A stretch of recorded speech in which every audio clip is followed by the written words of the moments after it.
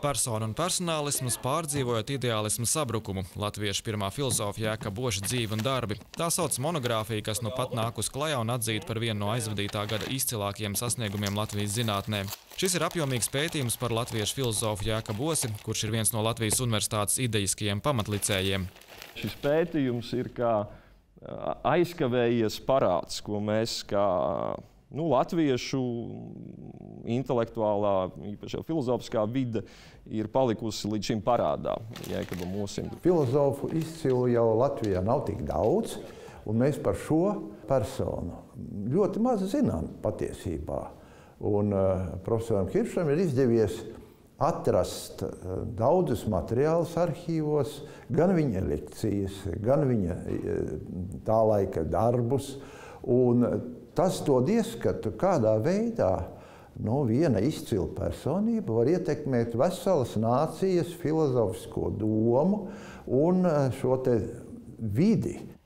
Monogrāfijas autors Andris Hiršs stāsta, ka materiāli pētījumam, kas tapis desmit gadu garumā, iegūt arī no Bāzeles un Jēnas universitātēm un Krievijas arhīviem ir saglabājušies uh, oša studenta lekciju pieraksti. Proti, ka nu, studenti sēdējuši lekcijā, cītīgi pierakstījuši vārds vārdā, ko viņš saka, pēc tam ir pavairojuši un izmantojuši to nu, tā tāds spīkers, gatavojoties arī eksāmeniem. Ir arī vēstules, uh, kuras uh, arī tādas, ar kurām līdz šim neviens pētnieks īpaši, īpaši nav, nav strādājis.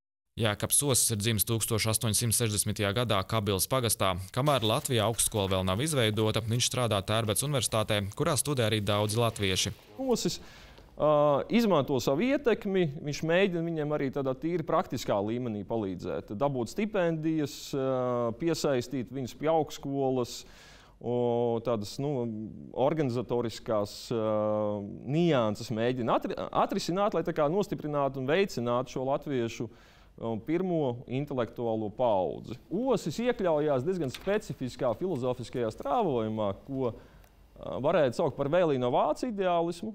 Osis pārstāv tērbats personālismu, kas ir arī tāds nu, paveids vēlīniem vācu ideālismam. Lai gan Jākaps Osis aktīvi darbojās Latvijas universitātes izveidē un lobē šo ideju arī tiekoties ar augstranga Krievijas ierēģiem, viņam pašam nav lemts tajā pasniegt lekcijas. Savus pēdējos divus dzīves gadus viņš pavada Voroņežā, kur kara laikā tika evokēti Tērbets augstskolas studenti un akadēmiskais personāls. Tobrīd viņš ir Tērbets universitātes rektora pienākumu izpildītājs. 1920. gadā viņš diemžēl tīfa epidēmijas laikā aiziet bojā.